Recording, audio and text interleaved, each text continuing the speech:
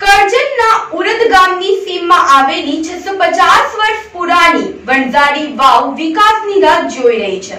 કરજણ તાલુકાના ઉડદ ગામની સીમમાં એક ઐતિહાસિક વણઝારી વાવનું આજથી છસો પચાસ વર્ષ અગાઉ નિર્માણ થયું હતું. સાડા છ સદી વીતવા છતાં આજે પણ વણજાળી વાવ અડીખમ ઊભી છે.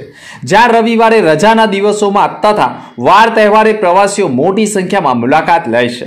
ઐતિહાસિક વણજાળી વાવ સાથે એક અનોખી દંતકથા જોડાયેલી છે. કહેવાય છે કે એક વણઝાળા સમાજની જાન ઉડદ ગામની સીમા પસાર થઈ હતી અને ત્યારે નવવધુને પાણીની તડસ લાગતા નવવધુએ પાણી માંગતા નવવધુના સાસરિયાઓએ નવવધુને ટોણો માર્યો હતો કે તારા પિતાએ અહીં વાવ નથી ખોદાવી કે તને પાણી આપીએ. નવવધુએ હટ પકડી હતી.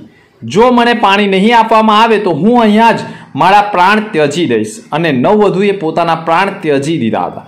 આજે પણ નવવધુની સમાધિ વાવની સામે બનાવી છે. ઉરદ ગામમાં પૂર્વ સરપંચ પ્રશાંત પટેલે પણ મીડિયા સમક્ષ કહ્યું હતું કે છસો પચાસ વર્ષ પુરાણી વણઝાડી વાવના રિનોવેશન માટે સરકારમાં વારંવાર રજૂઆત કરી છે. છતાં સરકાર દ્વારા કોઈ પણ પ્રતિસાદ મળ્યો નથી. એવા આક્ષેપ સાથે ઐતિહાસિક વણઝાડી વાવ વિકાસથી વંચિત રહ્યું છે. ત્યારે કેટલા સમયમાં વિકાસ થાય છે તે પણ જોવું રહ્યું. નમસ્કાર દર્શક મિત્રો એસએનપી ન્યૂઝના આપનું હાર્દિક સ્વાગત છે. હું છું ફિરોજ મલિક.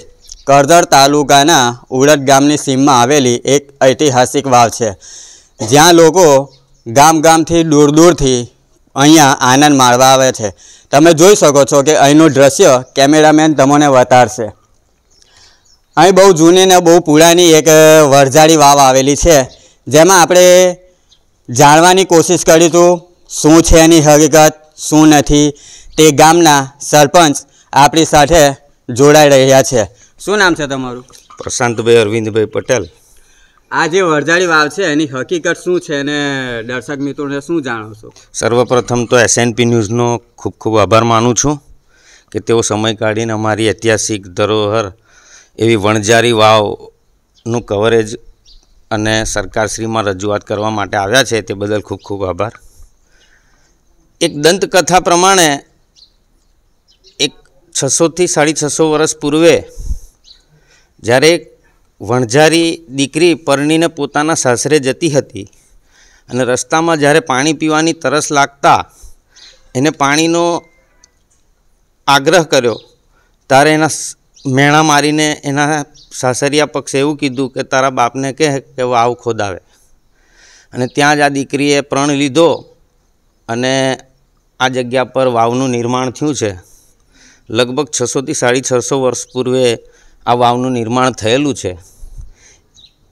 હાલ સરકારશ્રીમાં અવારનવાર રજૂઆત કરેલી છે કે આ ઐતિહાસિક ધરોહરને બચાવવા માટે જે પણ સરકારશ્રી ગ્રાન્ટ ફાળવે તે બદલ એમનો ખૂબ ખૂબ આભાર રહેશે.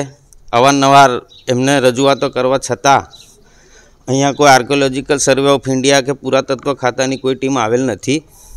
તો સરકારશ્રીનું ધ્યાન દોરવા માટે આજરોજ હું રજૂઆત કરું છું. આ છે વરઝાળી વાવની જે હકીકત કીધી કે છસો વર્ષ પૂળાની વાવ છે. છ સદી પૂરી થઈ ગયેલી.